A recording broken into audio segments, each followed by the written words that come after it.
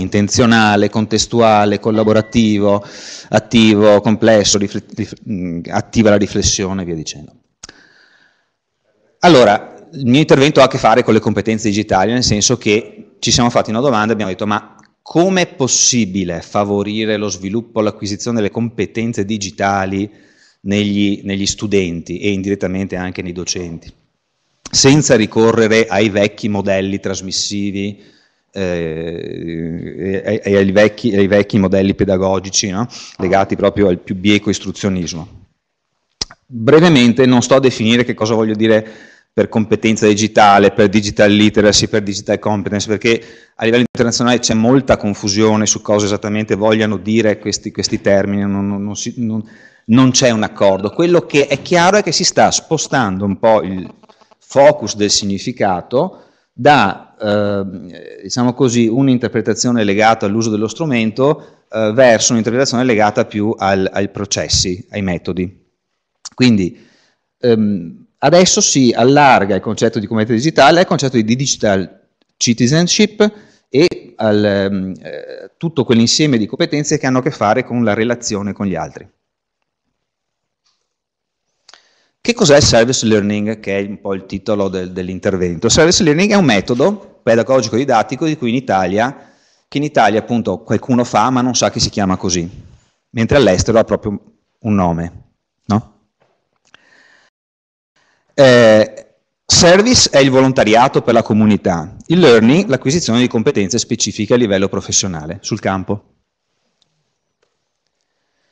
Insieme combinano raggiungimento di obiettivi sociali percepiti come importanti per la comunità e appunto obiettivi formativi tipici di ciascuna disciplina, può essere appunto la matematica, la geografia, tutto quello che volete. Beh, io in rete ho trovato questo, questo bel grafico, sul, questo diagramma sul service learning in cui ci sono appunto il civic engagement, lo chiamano gli anglosassoni, no? eh, l'academic enhancement, cioè la, la, il miglioramento delle, del, dell'acquisizione delle competenze a livello appunto eh, legato alla proficiency insomma ne, nelle varie discipline e la crescita personale e abilità appunto interpersonali. Ecco, questo è un po' l'ambito teorico entro il quale eh, mi sono un po' mosso. Questa esperienza è un'esperienza che ha coinvolto una ventina di studenti di una classe eh, secondo un istituto proprio tecnico eh, di elettronica, insomma, eh, che aveva un grosso problema. No? In media le insufficienze in tutte le materie erano altissime, eh, parecchia indisciplina, poca voglia di, po diciamo, poca voglia di studiare, uguale scarsissima motivazione no, allo studio. E quindi è proprio per questo che abbiamo scelto questa classe, insomma, la sfida più grossa, insomma, è stata, sono andato e ho detto datemi la classe più terribile che avete, no, non c'è problema, ne abbiamo tante, datemi la peggiore, è questa. Allora, prima della cura, 70 insufficienze in tutte le materie, dopo un anno le insufficienze sono scese a 20 in tutte le materie dopo questo progetto. Credo che non sia appunto un indicatore che io posso utilizzare com direttamente come causa-effetto perché chissà quante variabili sono entrate in gioco, però direi che è una cosa significativa. Contesto. Eh, C'è un paesino che si chiama Granze, nel, eh, vicino, fra Vicenza e Padova, no? Che è famoso perché è il paese delle antenne, cioè chissà perché alle varie telco piace mettere le antennone lì. Ovviamente agli abitanti non piace questa cosa, no? perché ne hanno 7, 8 di... Vedete, eh, la base dell'antenna è quella, immaginate sarà alta 25 metri, 30. No? Allora l'idea è nata da lì, spontaneamente dagli studenti che hanno detto no, eh, noi vogliamo, vuoi farci lavorare su un, qualcosa di concreto? Sì, service learning, benissimo, lavoriamo sul discorso delle antenne, faranno male, faranno bene, eh, noi siamo di studenti di elettronica, vogliamo fare qualcosa per la comunità. Allora, cosa sono messi in mente di fare? Bene, eh, detto, professore, ci aiuti, eh, cosa possiamo fare? Beh, ho detto, create qualcosa online, fate un processo di ricerca scientifico che vada a verificare l'emissione delle, delle, onde radio nelle antenne, prendete gli strumenti di misura, create un report, lo mettete online sul vostro blog e eh, magari usando anche i video no? come modello comunicativo, la narrazione, un digital storytelling, mi occupo anche di questo argomento. producete insomma della documentazione che sia scientificamente valida. Per fare questo dovete studiare. Quindi hanno, fatto, hanno messo in atto nell'arco di un paio di mesi tutto questo processo in cui hanno cercato in rete, hanno studiato, eh, hanno addirittura poi chiamato l'associazione dei consumatori, un tecnico dell'ARPA della regione Veneto che è venuto lì e ha discusso con loro l'uso degli strumenti, la pericolosità delle antenne e tutto, quindi insomma hanno fatto un lavoro abbastanza importante. Le domande di ricerca, ovviamente i dati sono ancora in elaborazione, abbiamo solo ricavato velocemente alcune, alcuni, alcuni, indicatori. Alcune domande appunto sono state queste. Qual è stata la percezione degli studenti dopo la partecipazione al progetto sul miglioramento delle loro competenze digitali? Ora io qui non voglio appunto fare polemiche, no, ma ci sono dei miei colleghi che appunto io stimo molto, il gruppo di Firenze, Calvani, eccetera, che ha lavorato molto sul tema delle competenze digitali, eh, non tanto sul tema delle competenze, quanto sulla valutazione delle competenze digitali. Allora io mi arrabbio sempre con loro perché dico, ma voi proponete una bellissima soluzione a un problema sbagliato, no? E allora loro fanno DCA, le prove online, no? come valutare, hanno scritto proprio libri, no? competenze digitali, no? allora ti fanno le domande, se tu andavai in internet cosa fai, se, no? lo studente deve rispondere. No, è sbagliato secondo me, secondo me le competenze digitali si valutano sul campo, come in questo caso. No? E la valutazione, sorpresa sorpresa, non la fa il docente, ma la fa la comunità, sugli artefatti generati. Qual è la percezione degli studenti sugli effetti del progetto e sulla loro motivazione ad apprendere? Qui vedrete sono uscite delle cose molto interessanti. E quali sono stati gli effetti sulle loro performance scolastiche? Ve l'ho già preannunciato. E poi alla fine quali sono le percezioni degli studenti sugli effetti sociali di questo progetto, cioè come loro hanno percepito eh, l'effetto sulla comunità locale, sul territorio ma anche su quella online. Brevemente vi faccio delle cose. Ha migliorato questo progetto le tue competenze digitali? Il 90% ha detto sì.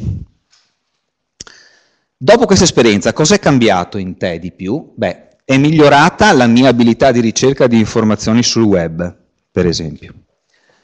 Interagisco di più sul web per discutere di questo e di altri problemi, partecipazione, competenze digitali, tecniche, partecipazione. Vengo a scuola più volentieri, circa il 20%.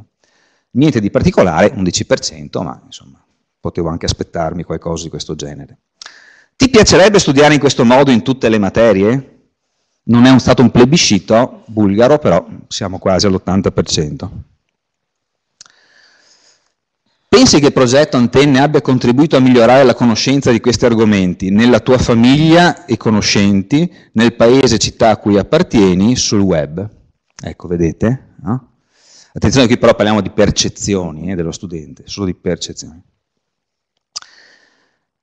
Questo è il framework a cui siamo giunti e che ovviamente potrebbe anche essere sicuramente integrato e migliorato e eh, ha eh, un po' generato delle sorprese non tanto sul lato studente quanto sul lato docente, insegnante.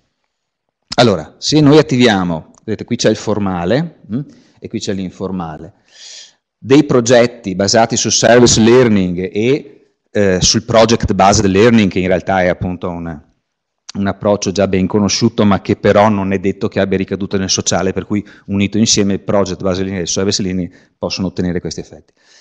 Può migliorare le competenze digitali sia degli studenti che dei docenti e questo tipo di processo migliora la motivazione degli studenti, ma a sorpresa anche la motivazione dei docenti e degli insegnanti ad insegnare.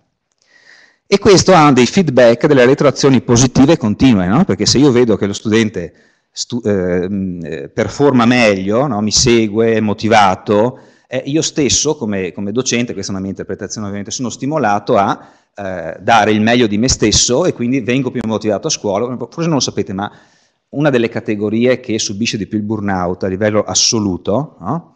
eh, sono, oltre ai medici della mutua, no? secondi vengono gli insegnanti. Eh?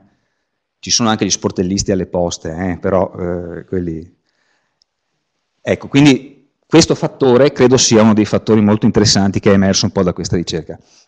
E quindi questo ha degli effetti sulla performance degli studenti. Ci sono degli effetti ovviamente sulla comunità, intesa sia come comunità locale che effetti sulla comunità online. No? Quindi in realtà questo progetto è stato diciamo, un buon successo dal punto di vista eh, del, del, dell'intenzionalità, che era quello appunto di capire se effettivamente le competenze digitali potevano essere stimolate sul campo con un certo tipo di progetto, un certo tipo di modello, ma al tempo stesso ha fatto emergere appunto anche un fattore eh, al momento non, non, considerato, legato appunto alla motivazione non tanto solo e solo dello studente, ma proprio anche quella dell'insegnante. Ecco, io vi ringrazio, ho chiuso, eh, eh, se avete qualche domanda.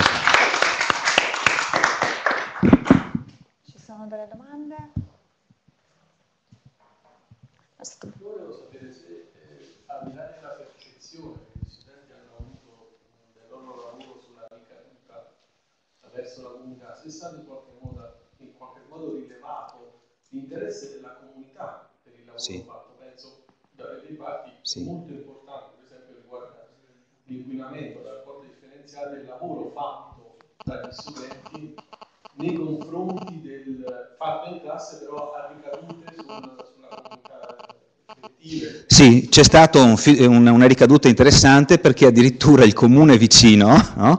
eh, ha avuto notizia di questo lavoro che l'ha visto in un blog, eh, eh, l'assessore ehm, eh, che, che, aveva anche competenze sulla salute, sulla sicurezza eccetera, ha richiesto proprio tutto il lavoro degli studenti e ha preso il, loro, il link del loro blog e l'ha messo nel, nel, sito del comune e quindi la cosa si è ulteriormente allargata. Dal punto di vista della percezione della popolazione non abbiamo potuto fare un'indagine sul territorio perché non avevamo i mezzi nei tempi, però tramite appunto i feedback degli studenti con le loro famiglie c'è stato un eh, interessante appunto ritorno dovuto anche alle modalità di comunicazione alternative che abbiamo utilizzato, ovvero hanno fatto un piccolo video, adesso non so, mh, mm, però è online, eh, cercate appunto Granze, antenne, lo trovate, e c'è proprio un video in modalità di digital storytelling in cui gli studenti raccontano no, eh, cosa fanno, sono andati lì vicino all'antenna, hanno misurato, hanno fatto vedere no, eh, quanta radiazione c'è, 6 volt per metro va bene,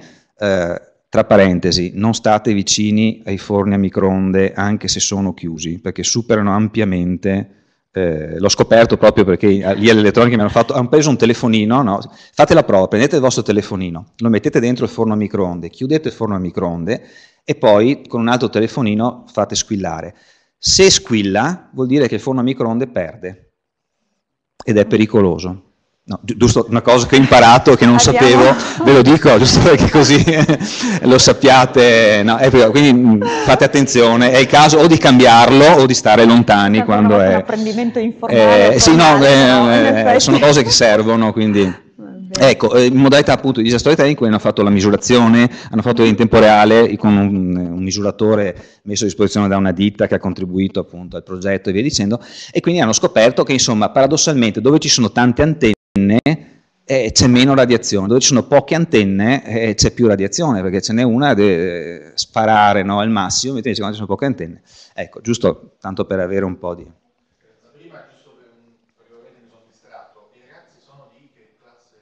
Di una seconda istituto tecnico, quindi sui 15 anni, 16 anni. Quindi ancora siamo, diciamo, obbligo. Sì, sì, sì, sì, sì, sì. sì.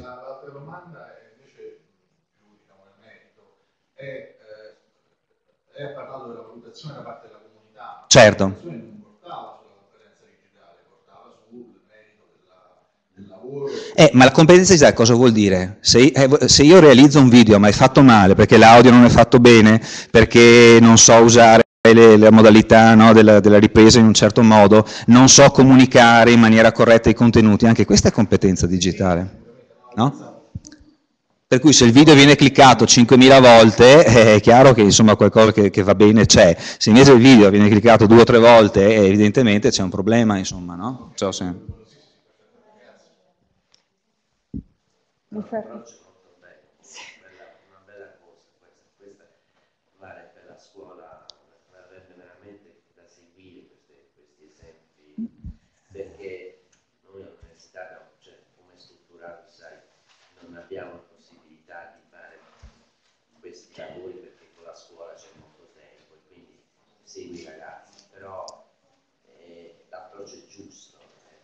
eh, bisogna avere degli insegnanti motivati che abbiano voglia di rischiare in questo senso. Eh, paradossalmente quelli che potrebbero rendere di più sono proprio gli insegnanti demotivati. Proponendo un progetto di questo genere, chissà se come il Ministero mi sta ascoltando, siamo vicini. No? Si potrebbe fare un progetto nel senso che eh, capite anche voi, eh, non è la tecnologia che fa la differenza, eh no. è la motivazione. Perché qualsiasi campo, no? eh, voi lo sapete benissimo, se io ho la motivazione riesco in qualche misura a raggiungere un mio obiettivo. Se la motivazione non c'è, posso avere la tecnologia più bella di questo mondo, ma non si va avanti. Ecco. Va bene, vi ringrazio, grazie a tutti.